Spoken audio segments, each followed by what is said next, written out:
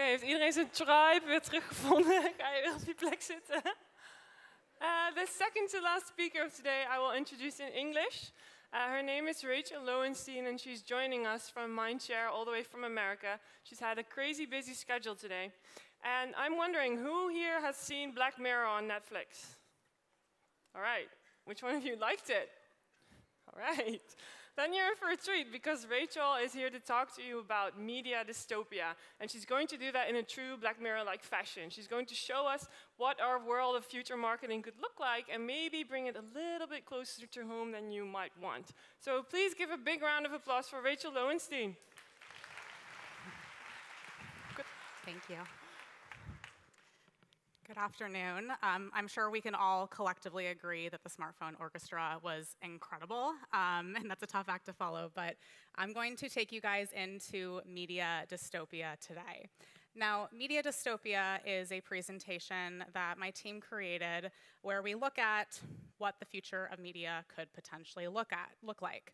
We unveil this presentation every single year at the Consumer Electronics Show in Las Vegas to about 200 of our most senior level clients. And we consistently hear from clients that they oftentimes feel uncomfortable and provoked after seeing this presentation because our methodology for media dystopia and looking at what the future could look like is deeply, deeply inspired by the television show uh, Black Mirror, like Angela just mentioned.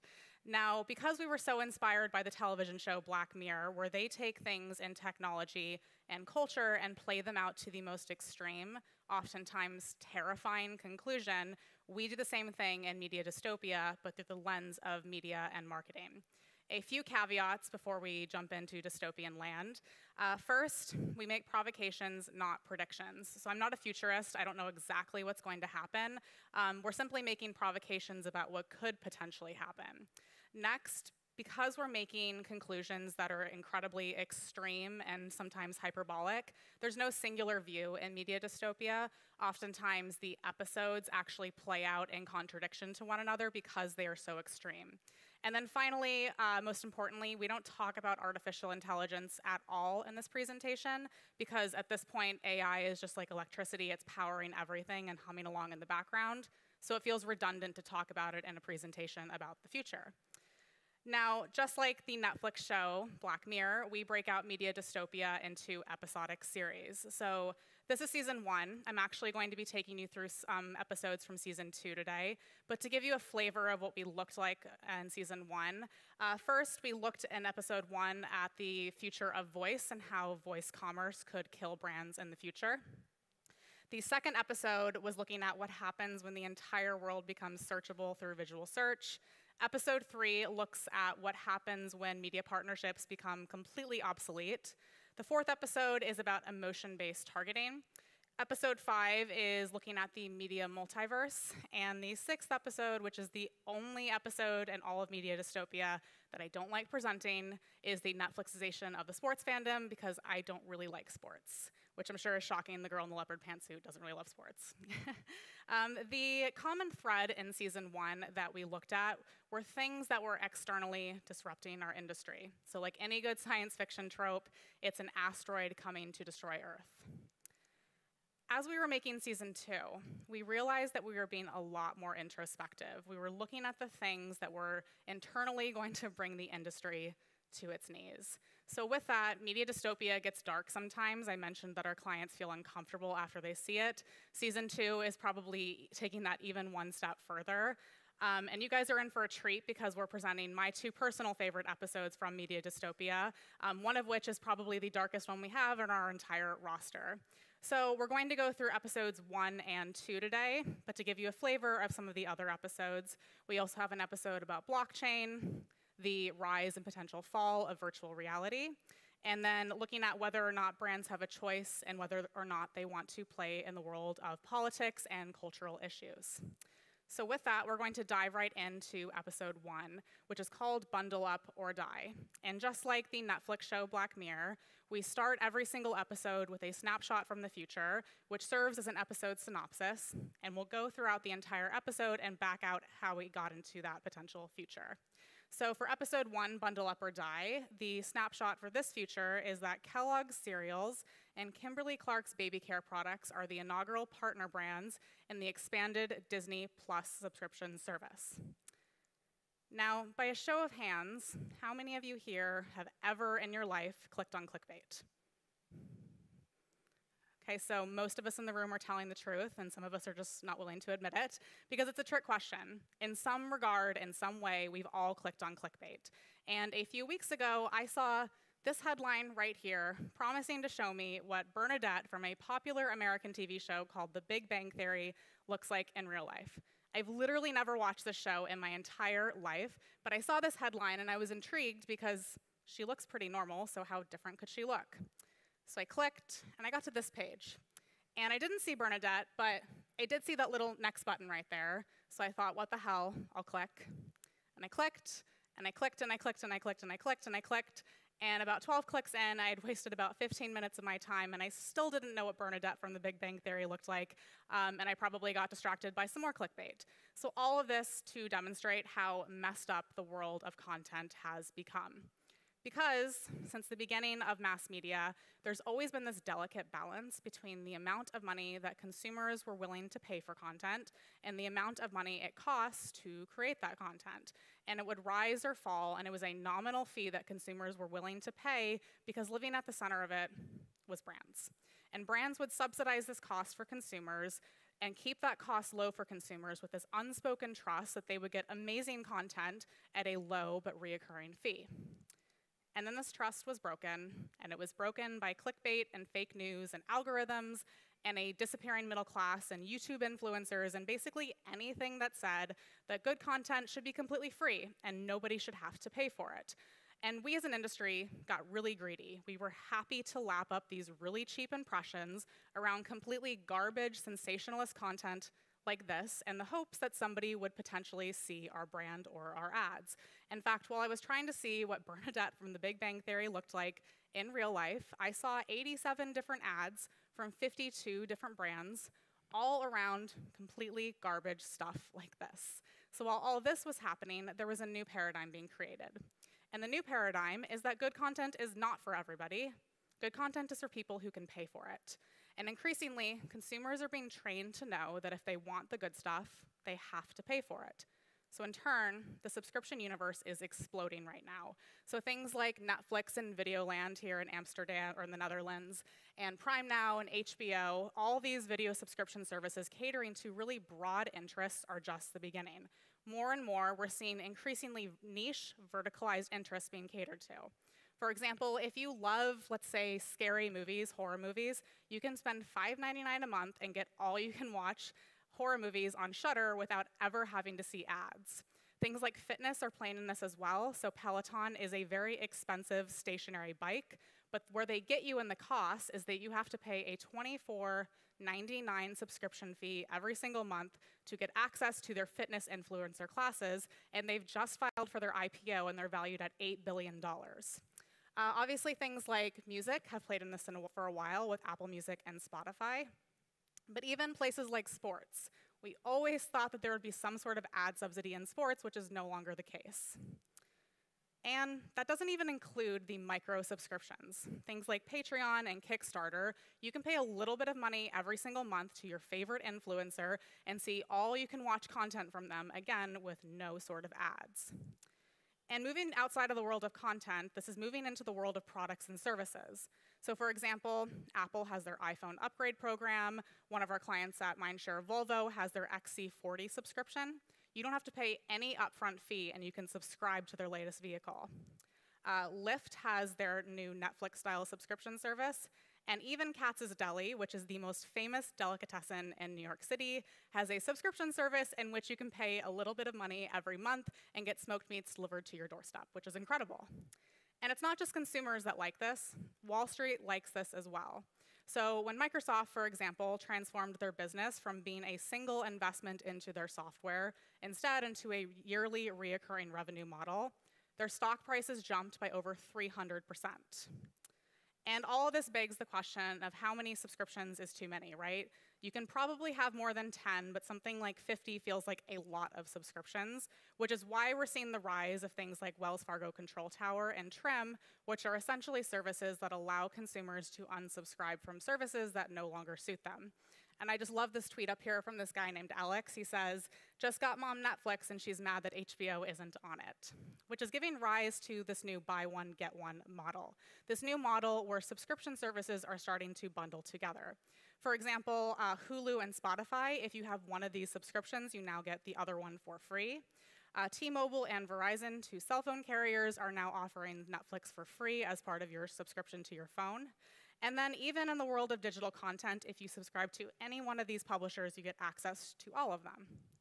So what are the factors at play in this future? We have the destruction of the consumer content trust paired with the continued expansion of the direct-to-consumer economy with the consumer need to somehow just consolidate our subscriptions is leading us to a future in which bundled subscription services give rise to the unreachable consumer and intensify the fight for incidental loyalty. Now, getting a little meta here just for a moment, incidental loyalty is a term that we coined in season one, episode one of Media Dystopia. The term basically means that in the future, consumers will not be loyal to brands because they like those brands or have a particular affinity for their services or products, but because things like algorithms and voice technology are just making them loyal by happenstance. More on that in a moment. On the unreachable consumer, this now means the thing that used to keep consumers from content, the paywall, is now the thing that is keeping them from ads.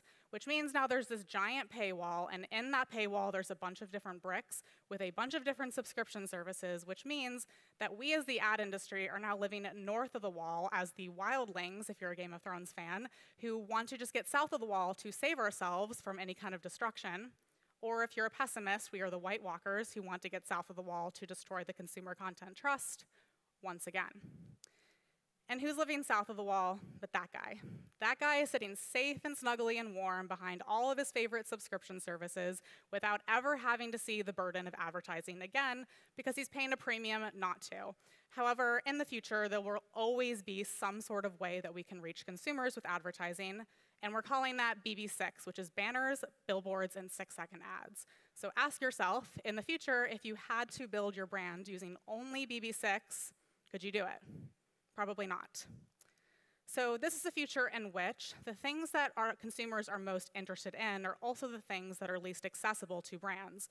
For example, all of that comms work and audience insights that you spend hundreds of thousands of dollars every, doing every couple of years goes completely out the window because for brands, it's not super helpful for you to know, let's say if you're a pet food brand and you want to reach dog enthusiasts, but if I'm a dog enthusiast, but I get all of my dog content from three Patreon creators, a newsletter, and a video subscription service from the Dodo, all of which have no advertising in them, advertising goes completely out the window, and all that work means complete shit in this future. Um, next, there'll be bifurcated media plans between the content rich and the content poor. The content rich are the people who have the disposable income to live behind a paywall, The Content poor are those poor bastards who are living in the world of clickbait and cat videos on the internet. Um, next, content will become king again, but this time without its queen of distribution. So this begs the question of how many brands in the future are creating content that is so good that consumers are actually willing to pay for it? Probably not very many. And finally, there will be a constant jostling between uh, to control the payments or displace subrenters.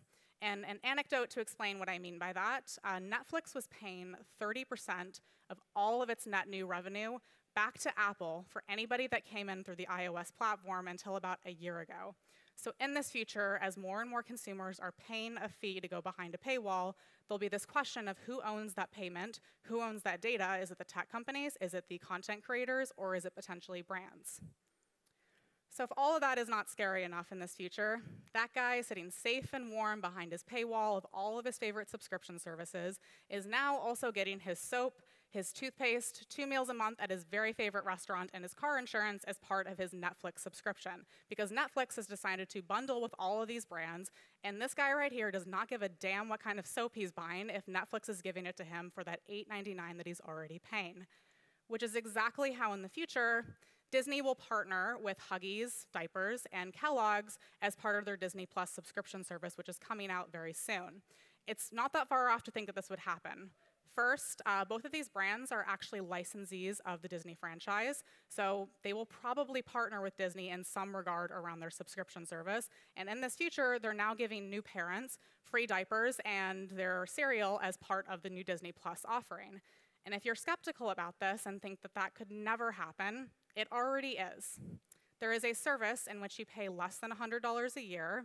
You get free streaming on dozens of flights around the world. You get discounts at hundreds of different grocery stores, free two day shipping on all your orders, access to hundreds of thousands of television shows, movies, music, etc. Amazon is already doing this with Prime. And there are rumors that Apple will start doing this as well with their Apple Plus subscription service. People who have an iPhone, for example, will probably get this for free. And there are rumblings that Apple is going to potentially partner with entertainment companies and other brands to give exclusive access or exclusive content on this platform. So, how can brands prepare for this future? Uh, first, think about where your audience falls and determine their reachability. We actually did a segmentation study at Mindshare looking at consumers who are behind the paywall for each and every one of our specific brands. Um, next, begin building your beyond the wall strategy for consumers who do live beyond the paywall. And then the last two go hand in hand. First, explore other brands or com companies that you can incorporate into your bundle, or if you don't have a bundle or want to expand into other companies, find ways that you can enhance another brand's uh, bundle in this future. So this is the second episode and the last episode that I'm going to be going through, and it's called Sound as the Savior. I alluded to the fact that media dystopia gets dark. It's probably our darkest episode, so stick with me if you feel a little bit depressed. I'm very sorry, but we will find some optimism. Uh, so the snapshot for this feature is that in 2025, Beats' a suite of headphones becomes the number one profit driver in Apple's portfolio of hardware. Now, before we talk about sound, we have to talk about pretty much every other piece of technology that's out there right now. And despite the buzz about driverless cars, smart homes, VR headsets, AI that may or may not come kill us all, there is a dirty secret that in many cases we are heading towards a regression. And I obviously don't mean something like that. We are never going to head back to the wonder years where we stop using our phones for everything from ordering food to finding our next great love interest. Because we love technology, right? It simplifies, it organizes, and it connects us, and you'd be hard pressed to find even a digital minimalist in this room who doesn't like getting what they want when they want at the push of a button. But there's a paradox to technology, and the paradox is for all that it's doing to make our lives better, it's also making us miserable. It's a unanimous agreement right now in the scientific community that we've never been more depressed, we've never been more anxious, and we've never been more distracted as humans than we are today. And scientists pretty much unanimously agree that this is in large part due to the amount of time that you spend on your phone and pretty much every other screen and piece of technology out there. Because we're addicted.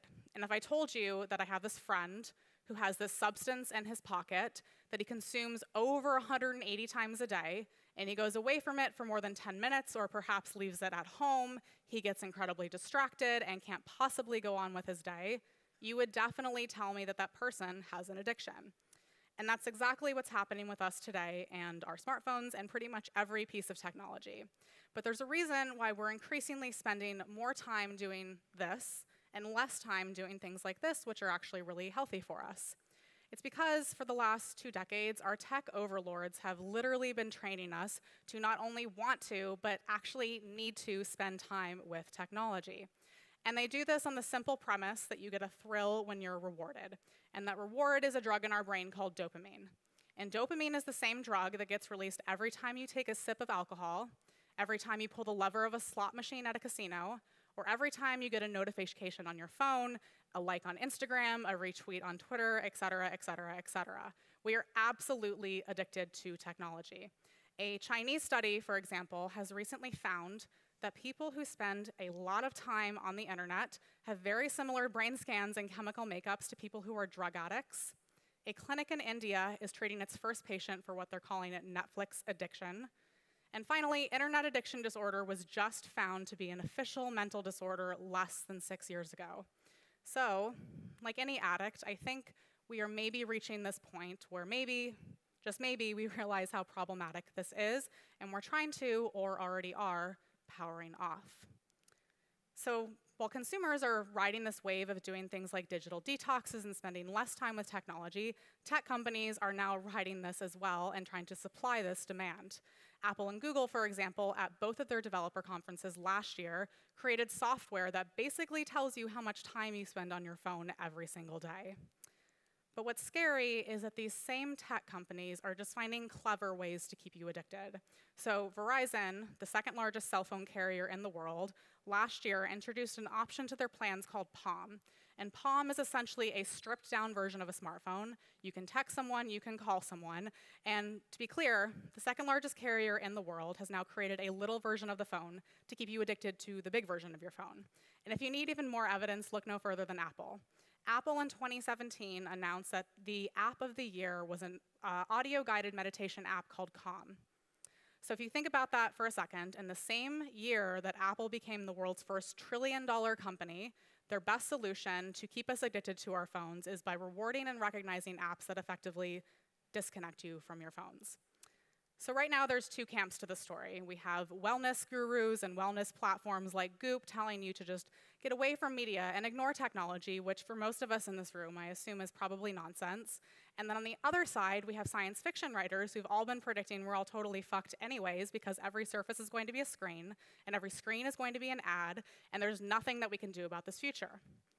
But as marketers, we already know that's true today. Every surface is a screen, and every screen is an ad. And for all that headsets and smartphones and tablets and every piece of technology was supposed to do to make our lives better, again, I would remind you that we've never been more depressed, we've never been more anxious, and we've never been more distracted as humans than we are right now. So ask yourselves is there anything that we can do to pull ourselves out of this dystopian nightmare? Cue the angels singing. We think that our one savior in media is going to be sound. And if you're paying attention to what's happening in this audible revolution right now, it's actually pretty clear that audio could be the one thing that saves ourselves and rejects this dystopian nightmare. So when the Buggles in 1979 sang Video Killed the Radio Star, I think that they turned out to be emphatically wrong. Because as more and more consumers are trying to find ways to disconnect, they're not running away from media and technology, they're just getting away from their screens. And what does audio do but allows you to get away from your screens and spend less time in front of them like this, but put on your headsets or your headphones and just interact with the world around you. So in turn, now tech companies are trying to supply this new audible demand. For example, in the last year, Spotify has spent almost half a billion dollars on podcast companies. Um, Apple has entered the voice battle somewhat unsuccessfully. Google, four years after Apple, has finally made their native podcast player and hired dozens of specialists in the audio space. Michael Lewis, a very famous writer, is releasing his next book on Audible first. Uh, almost a third of Europeans are now listening to podcasts. That number continues to grow in pretty much every market in the world. Malcolm Gladwell, another famous writer, potentially the most famous in the world, is creating his own audio company after massive success in podcasting. Amazon's big bet for a TV show is based off of a podcast called Homecoming. Sirius has bought Pandora, and iHeart, who is still in bankruptcy, has decided to spend a lot of money on a podcast company to become profitable again. But this future that we're very quickly running towards, where sound will be prioritized over visuals, is perhaps no better evidence than the popularity of smart speakers. Because if you ask smart speaker owners, why do you like your device? the number one answer that they give is because it untethers them from their screens. And even more than that, I actually think it's really simple. So put, a, put aside all of that marketplace noise that I just talked about, and if you think about audio, it is the medium that is most intuitive to humans. Things like reading and writing have only been around for about 5% of modern human history. Things like video, obviously, just in the last 100 years. What have we always been able to do as humans but listen and tell stories and talk to each other, which is what podcasting is all about? And even more than that, as I spoke about in the last episode, people just like really good content. And audio today, and podcasting in particular, is really the last place on the internet where you can get high quality content for completely free, all subsidized by ads. So what are we working towards in this future? First, we have purposeful screen avoidance because of this trained addiction from the last 20 years. with the unprecedented amount of choice in how we can listen, with tech companies now supplying this new audio demand, with the open access to quality audio content, because for the most part, it's completely free, which is leading us to a post-screen future in which audio becomes the dominant source of media consumption, and we begin to listen to content before we ever, or if we ever see it, which means we're going to hear about brands before we ever, or if we ever see them. And it's actually not that far off. So, in the span of history with smartphones, they've only ever increased in terms of sales. 2018 was the very first time in smartphone history that the sales for them actually declined. Headphone sales, meanwhile, are the number one consumer piece of hardware that is sold globally, which is how in the future Apple may have to rely on Beats or its AirPods or any of its other uh, headphones to be its big profit driver as less people care about getting the latest shiny screen and the latest iPhone. However, our industry still talks about podcasting as if they are a nascent and niche space, which simply said, they're not. For example, more people in the US actually listen to podcasts than pay for a Netflix subscription. And completely unrelated to media, but simply to demonstrate how popular they are, more people in the US listen to podcasts than actually practice Catholicism. However, if you listen to podcasts, these are probably the brands that you hear. You hear the D2C brands on repeat. And while their ads, I think, are completely horrible, I would argue that brands like Squatty Potty, which is a real product, look it up after this, it's like the weirdest invention in the world. Brands like Squatty Potty have the most uh, robust audio strategy as compared to big time brands. Because while consumers are flocking to the space in the form of audiobooks and podcasts and music streaming, our industry still puts pennies into this space compared to the billions that we put into visual ones. So my question to all of you is why have we placed a value on a medium based off of what it doesn't do? So why have we handicapped audio as something that doesn't provide a visualization to people when nobody in the art community would look at the scream and wish that they could hear the scream? I th actually think our industry should be in love with this space. How many of you, while you were driving, decided you had to turn down the radio so you could see better? Audio surrounds you, you cannot ignore it. Moreover, audio is incredibly emotive. So this is a chart right here of somebody listening to the Game of Thrones audiobook in red versus when they're watching the TV show in blue. And you can see pretty much across the board their EDA, which is their brain response, their heart rate and their temperature is much more elevated when they were listening to the book. Game of Thrones is the most visual TV show in history, perhaps ever, but the Game of Thrones audiobook was much more emotive and driving response for people. Yet, if you're still skeptical, a third of people who own a smart speaker have said that it's replaced their time spent with television and video, so maybe video did not kill the radio star. And that's not to say that our industry is ignoring this completely. Things like sonic branding and sonic logos are now the new buzzword in our industry. It's why MasterCard has created their new sonic logo to play every time you make a transaction with their product because they want to instill what their brand stands for in people's hearts and minds. And publishers are chasing this as well. So the New York Times knows that its hit podcast, The Daily, which is one of the biggest podcasts in the world, is growing at an exponentially faster rate than most of its digital properties, and certainly faster than its print ones. So it's why they took out full page ads in their own newspaper to drive people to listen to their audio content, because the New York Times knows that increasingly more and more their, of their readers are becoming listeners. And all of this is happening, I think, because audio is potentially more cognitively transformative than visual channels. And to explain what I mean by that, if you go back 50 or 60 years to the early days of radio, Orson Welles, one of the most famous writers of the 20th century, said that a famous radio drama at the time called Sorry Wrong Number was the single greatest script ever written. And when the New York Times decided to review the film that came out five years later, they called the film tedious. And in modern times, it's why shows like Dirty John, which were number one on iTunes for over three months, millions and millions and millions of downloads, critical acclaim when it was a podcast, and then Bravo turns it into a TV show and it's a complete flop. So, sound as the standalone fixture provides this uniquely personalized experience in the minds of consumers. Storytellers can frame the narrative however they want, but only you get to decide what that story looks like in the imagination of your mind. And your brain actually does this something called self visualization.